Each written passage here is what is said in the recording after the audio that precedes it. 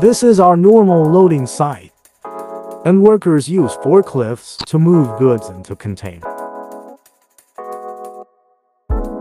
Specially responsible personnel will stand by the truck to supervise the overall process of loading. At this time, due to the operator's error in operation, the goods were placed directly without confirming the height of the goods, resulting in the side of a box of the goods being squeezed. The person in charge directly stopped the entire loading process and handed over the goods to our engineers for inspection.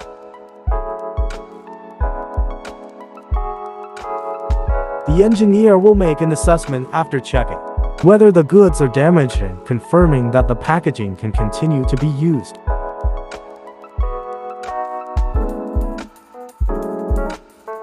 Fortunately, there was no serious problem after he checked it carefully, so the scene began to become active again. And the workers in the next loading process were treated with extra care. Meiguo treats each batch of goods with a rigorous and responsible attitude.